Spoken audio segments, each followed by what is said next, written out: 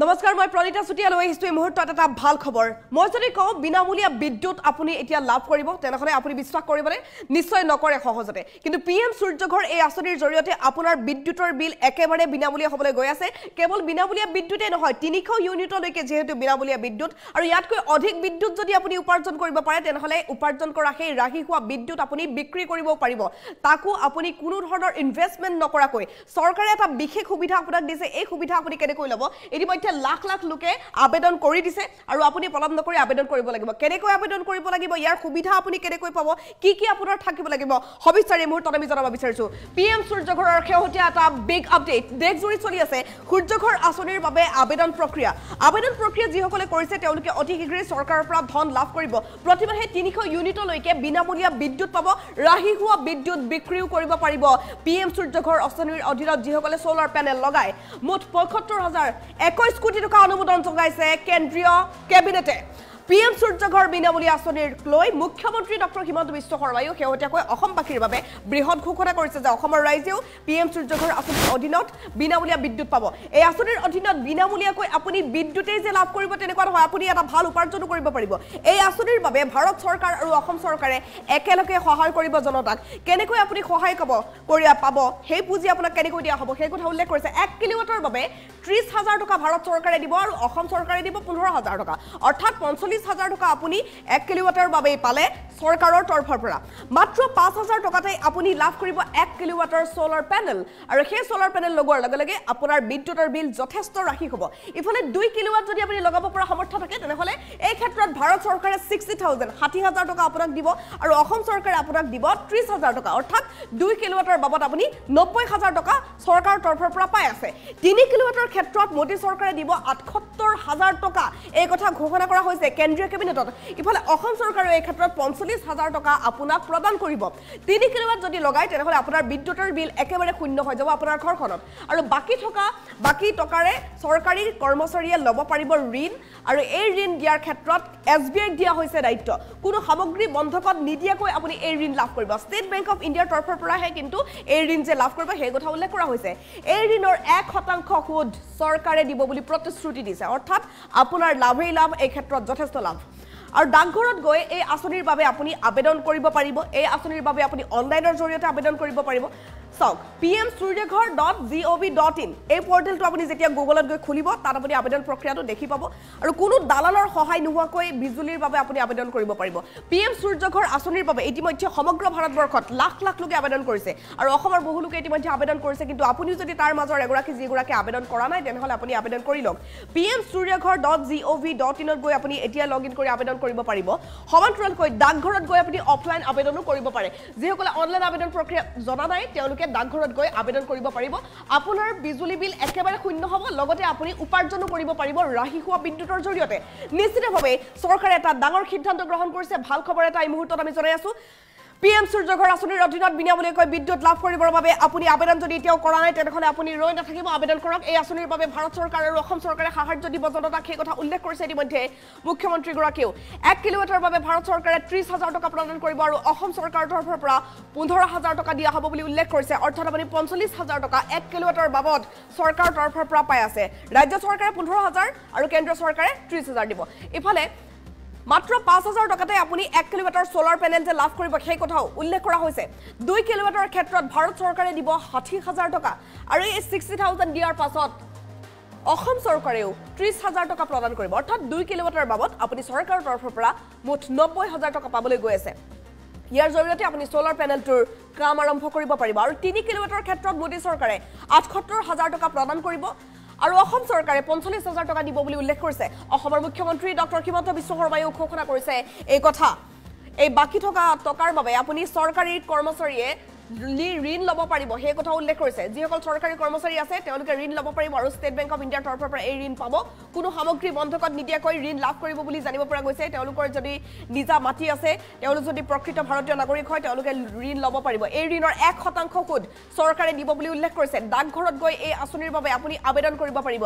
যিসকলে অনলাইন আবেদন কৰিব জনা নাই তেওঁলোকে অফলাইন যোগে আবেদন ডাকঘৰত কৰিব পাৰিব। নহ'লে P M Suryaghar dot G O' V dot in এই পৰ্টেলটোত গৈ আপুনি আবেদন কৰিব পাৰিব। অনলাইন আবেদনৰ আবেদনৰ বাবে এতিয়া লগ ইন কৰক P M Suryaghar dot G O' V dot in তাত গৈ আপুনি আপোনাৰ যিবোৰ প্ৰমাণ পত্ৰ সেই প্ৰমাণ পত্ৰবোৰ দিব লাগিব। আপুনি তাতে এখন ফৰ্ম আহিব সেই ফৰ্মখন ফিল আপ কৰিব লাগিব আৰু তাৰপাছত আপুনি আবেদন প্ৰক্ৰিয়া সম্পূৰ্ণ কৰিব লাগিব। নিশ্চিতভাৱে এইটো এটা ভাল খবৰ আমি জনাই আছোঁ। আপোনাৰ বিদ্যুৎ বিল একেবাৰে শূন্য হ'ব সমান্তৰালকৈ বাকী থকা বিদ্যুৎ আপুনি বিক্ৰীও কৰিব পাৰিব। আৰু তাৰ বাবে কেন্দ্ৰীয় চৰকাৰ আৰু অসম চৰকাৰ দুয়োৱে আপোনাক সহায় কৰিব। মুঠ পঁয়সত্তৰ হাজাৰ একৈছ কোটি টকা অনুমোদন জনোৱা হৈছে কেন্দ্ৰীয় কেবিনেটৰ তৰফৰ পৰা। হিমন্ত বিশ্ব শৰ্মাই ইতিমধ্যে ডাঙৰ ঘোষণা কৰিছে। যিসকলে আবেদন কৰা নাই তেতিয়া তেওঁলোকে এতিয়াই আবেদন কৰি লওক। এই আঁচনিৰ অধীনত বিনামূলীয়াকৈ আপুনি বিদ্যুৎ লাভ কৰিব আৰু ৰাহি হোৱা বিদ্যুৎ বিক্ৰী পৰ্যন্ত কৰিব পাৰিব। এই আঁচনিৰ বাবে ভাৰত চৰকাৰ আৰু অসম চৰকাৰ দুয়োৱে সহায় কৰিব জনতাক সেই কথা ঘোষণা কৰা হৈছে চৰকাৰৰ তৰফৰ পৰা। এক কিলোৱাটৰ বাবে ভাৰত চৰকাৰে ত্ৰিছ হাজাৰ টকা প্ৰদান কৰিব আপোনাক। তাৰ বাবে মাত্ৰ আপোনাক পাঁচ হাজাৰ টকা খৰচৰ প্ৰয়োজন হ'ব। আৰু আনফালে অসম চৰকাৰে পোন্ধৰ হাজাৰ টকা দিব। অৰ্থাৎ পঞ্চল্লিছ হাজাৰ টকা আপুনি চৰকাৰৰ তৰফৰ পৰাই পাই আছে। এক কিলোৱাট চলাৰ পেনেল লগাবৰ বাবে। অন্যহাতে মাত্ৰ পাঁচ হাজাৰ টকাতে যে আপুনি এক কিলোৱাট চলাৰ পেনেল লগাব পাৰিব সেই কথা ঘোষণা কৰা হৈছে। আৰু দুই কিলোৱাট যদি আপুনি লগাব বিচাৰিছে তেনেহ'লে দুই কিলোৱাটৰ ক্ষেত্ৰত ভাৰত চৰকাৰে আপোনাক ষাঠি হাজাৰ টকা প্ৰদান কৰিব। আৰু অসম চৰকাৰৰ তৰফৰ পৰা আপুনি ত্ৰিছ হাজাৰ পাব। অৰ্থাৎ নব্বৈ হাজাৰ টকা আপুনি পাই আছে। চৰকাৰৰ তৰফৰ পৰা এই দুই কিলোৱাট চলাৰ পেনেলৰ নামত। আৰু আপুনি যদি তিনি কিলোৱাট চলাৰ পেনেল লগাব বিচাৰিছে তিনি কিলোৱাটৰ ক্ষেত্ৰত মোদী চৰকাৰে আপোনাক দিব আঠসত্তৰ হাজাৰ টকা। এই আঠসত্তৰ হাজাৰ টকা চৰকাৰে যেতিয়া আপোনাক তিনি কিলোৱাটৰ বাবদ মোকলাই দিলে ইয়াৰ পাছত ৰাজ্য চৰকাৰেও আপোনাক পঞ্চল্লিছ হাজাৰ টকা প্ৰদান কৰিব বুলি উল্লেখ কৰিছে। আৰু যিসকল চৰকাৰী কৰ্মচাৰী আছে তেওঁলোকৰ বাবে আছে ডাঙৰ খবৰ যে বাকী থকা যিবিলাক টকা আছে বাকী টকাৰ বাবে চৰকাৰী কৰ্মচাৰীয়ে ঋণ ল'ব পাৰিব। আৰু এই ঋণ তেওঁলোকে ষ্টেট বেংক অফ ইণ্ডিয়াৰ পৰা ল'ব পাৰিব। কোনো সামগ্ৰী বন্ধকত নিদিয়াকৈ তেওঁলোকে ঋণ ল'ব পাৰিব বুলি উল্লেখ কৰিছে চৰকাৰে। এই ঋণৰ এক শতাংশ সুদ আনকি চৰকাৰেও দিব। সেই কথা উল্লেখ কৰা হৈছে। নিশ্চিতভাৱে লাভেই লাভ সকলো ক্ষেত্ৰত। এক শতাংশ ঋণ যিহেতু চৰকাৰে দিব। ডাকঘৰত গৈ এই আঁচনিৰ বাবে আপুনি অফলাইন আবেদন কৰিব পাৰে। যিসকলে অনলাইন আবেদন প্ৰক্ৰিয়া কৰিব পৰা নাই কিন্তু অনলাইনৰ বাবে আবেদন কৰিবলৈ হ'লে P M Suryaghar dot G O' V dot in এই পৰ্টেলটোত গৈ আপুনি আবেদন কৰিব লাগিব। এতিয়া আবেদনৰ বাবে লগ ইন কৰক P M Suryaghar dot G O' V dot in নিশ্চিতভাৱে এইটো এটা ভাল খবৰ আমি জনাই আছোঁ। বিদ্যুতৰ বিল যথেষ্ট বেছি হোৱাৰ বাবে বিশেষকৈ স্মাৰ্ট মিটাৰবোৰ হোৱাৰ ফলত বহুতৰে হয়তো যথেষ্ট অসুবিধা হৈছে। স্মাৰ্ট মিটাৰ হোৱাৰ ফলত পূৰ্বতকৈ বিদ্যুতৰ বিল যথেষ্ট বাঢ়িছে আৰু এই ক্ষেত্ৰত সমগ্ৰ ৰাজ্যজুৰি বা ভাৰতবৰ্ষৰ বিভিন্ন প্ৰান্তত প্ৰতিক্ৰিয়া অব্যাহত আছে। দৈনিক বিদ্যুৎ বিভাগক গালি পাৰি আছে জনতাই আৰু ইয়াৰ মাজতে চৰকাৰে কিন্তু এটা ভাল পদক্ষেপ গ্ৰহণ কৰিছে যে যিসকলে চ'লাৰ পেনেল লগাব তেওঁলোকৰ বিদ্যুতৰ বিল ৰাহি হ'ব। প্ৰথম কথা এক কিলোৱাট বিদ্যুৎ লগোৱাৰ লগে লগে তেওঁলোকৰ যিটো বিদ্যুৎ উৎপন্ন হ'ব সেই বিদ্যুৎ তেওঁলোকে নিজৰ ঘৰতে ব্যৱহাৰ কৰিব পাৰিব বিনামূলীয়া হৈ পৰিব তেওঁলোকৰ বিদ্যুৎ। দুই কিলোৱাট বিদ্যুৎ লগোৱাৰ লগে লগে যদি তেওঁলোকৰ তিনিশ ইউনিটতকৈ অধিক উৎপাদন হয় তেনেহ'লে তেওঁলোকে বিদ্যুৎ একেবাৰে শূন্য কৰি ল'ব পাৰিব বিদ্যুতৰ বিল একেবাৰে দিব নালাগিব তেওঁলোকে বিদ্যুৎ বিভাগক। আনফালে যিসকলে তিনি ইউনিটৰ বিদ্যুৎ লগাব তিনি কিলোৱাটৰ যিসকলে চ'লাৰ পেনেল লগাব তেওঁলোকে তিনি কিলোৱাটৰ চ'লাৰ পেনেল লগোৱাৰ লগে লগে বিদ্যুতৰ বিল তেওঁলোকৰ একেবাৰে শূন্য হৈ যাব আৰু ৰাহি হোৱা বিদ্যুৎ আনকি তেওঁলোকে বিক্ৰী কৰিব পাৰিব। এক কিলোৱাটৰ বাবে কেন্দ্ৰীয় চৰকাৰৰ পৰা ত্ৰিছ হাজাৰ আৰু ৰাজ্য চৰকাৰে দিব পোন্ধৰ হাজাৰ। পঞ্চল্লিছ হাজাৰ টকা পাব আৰু পাঁচ হাজাৰ টকাতে আপুনি কৰিব পাৰিব এক কিলোৱাটৰ চ'লাৰ পেনেল দুই কিলোৱাটৰ ক্ষেত্ৰত ভাৰত চৰকাৰে ষাঠি হাজাৰ টকা প্ৰদান কৰিব বুলি উল্লেখ কৰিছে। মুখ্যমন্ত্ৰী ডক্টৰ হিমন্ত বিশ্ব শৰ্মায়ো এই কথাত শেহতীয়াকৈ উল্লেখ কৰিছে এই কথা। অসম চৰকাৰে ত্ৰিছ হাজাৰ টকা প্ৰদান কৰিব দুই কিলোৱাট চ'লাৰ পেনেল লগাবৰ বাবে আৰু কেন্দ্ৰীয় চৰকাৰে দিব ষাঠি হাজাৰ অৰ্থাৎ নব্বৈ হাজাৰ আপুনি পাই আছে। তিনি কিলোৱাটৰ ক্ষেত্ৰত মোদী চৰকাৰে আঠসত্তৰ হাজাৰ টকা দিব উল্লেখ কৰিছে। আৰু অসম চৰকাৰে পঞ্চল্লিছ হাজাৰ টকা এই ক্ষেত্ৰত দিব। কোনোবাই যদি ঋণ ল'ব বিচাৰিছে বাকী টকাৰ বাবে আৰু অধিক যদি চ'লাৰ পেনেল যদি বেছি ডাঙৰকৈ বনাম বুলি ভাবিছে তেনেহ'লে তেওঁলোকে কি কৰিব পাৰিব? ঋণ ল'ব পাৰিব। আৰু তেওঁলোক চৰকাৰী কৰ্মচাৰী হ'ব লাগিব ঋণ তেওঁলোকে পাব। আৰু কোনো সামগ্ৰী বন্ধকত নিদিয়াকৈ এই ঋণ তেওঁলোকে লাভ কৰিব বুলি উল্লেখ কৰিছে কেন্দ্ৰীয় চৰকাৰে। আৰু এই ঋণৰ এক শতাংশ সুদ চৰকাৰে দিব যিহেতু চ'লাৰ পেনেল তেওঁলোকে লগাব আৰু সেই চ'লাৰ পেনেলৰ পৰা ৰাহি হোৱা বিদ্যুৎ তেওঁলোকে দেশতেই বিক্ৰী কৰিব। ডাকঘৰত গৈ এই আঁচনিৰ বাবে আপুনি আবেদন কৰিব পাৰিব। আপোনাৰ নিকটতম যিটো ডাকঘৰ ডাকঘৰত গৈ আপুনি এতিয়া আবেদন কৰি চাব পাৰে।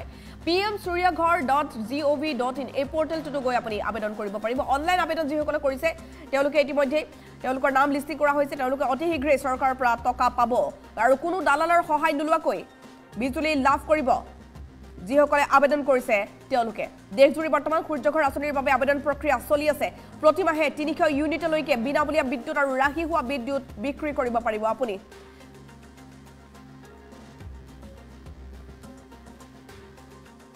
চলাই দিনৰ ভাগত তেওঁলোকৰ বিদ্যুতৰ মিটাৰত এটকাও বিল নহয়। অকল ৰাতি তেওঁলোকৰ বিল হয় যেতিয়া সৌৰশক্তি বা সূৰ্য অস্ত যায়। সৰ্বমুঠ তেওঁলোকে হিচাপ কৰি দেখিছে যে আগতে যদি এশ টকা ইলেক্ট্ৰিচিটি বৰ্ডক দিছিলে এতিয়া তেওঁলোকে মাত্ৰ পোন্ধৰ টকা দিব লাগে। অৰ্থাৎ পঁচাশী পাৰ্চেণ্ট ইলেক্ট্ৰিচিটিৰ খৰচ তেওঁলোকে পেনেল লগোৱাৰ পিছত দিবলগীয়া হোৱা নাই।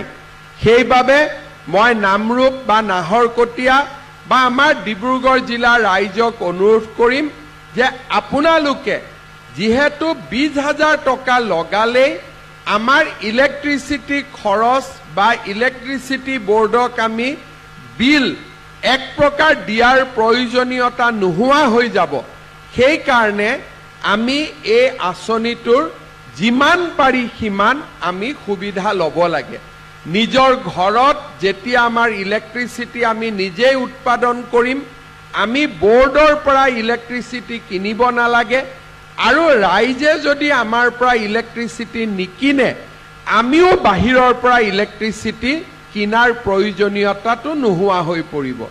আজি আমি ৰাইজক ছয় টকা প্ৰতি ইউনিটত ইলেক্ট্ৰিচিটি দিওঁ আৰু মহাৰাষ্ট্ৰ তামিলনাডু আদি ৰাজ্যৰ পৰা আমি দহ টকাত ইলেক্ট্ৰিচিটি কিনিব লাগে।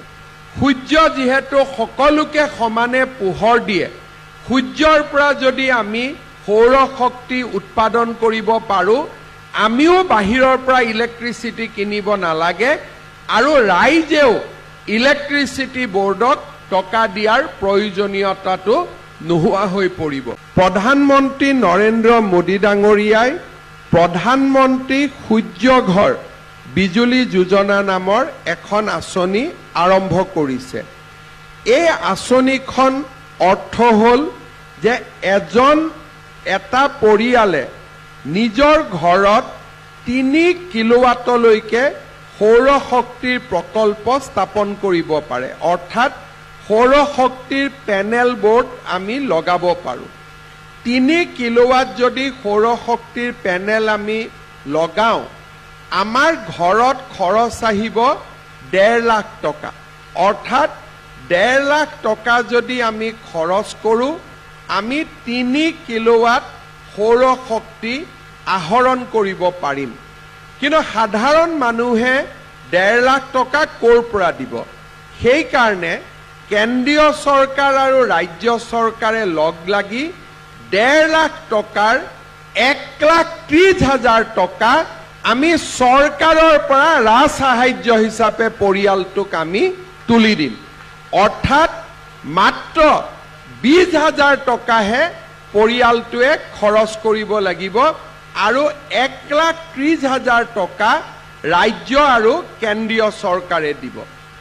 আমাৰ অসমত এশ সত্তৰ ঘৰ পৰিয়ালে ইতিমধ্যে আমাৰ আঁচনিৰ জৰিয়তে এই পেনেল স্থাপন কৰিছে।